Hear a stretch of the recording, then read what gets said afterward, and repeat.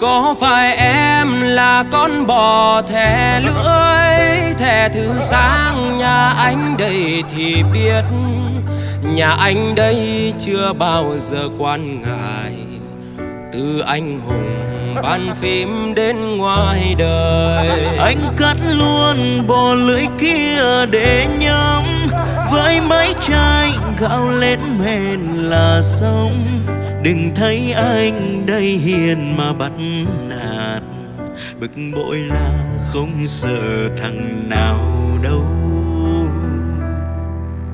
Dăm ba cái lưỡi bò sang Việt Nam. Cắt, nhúng lòng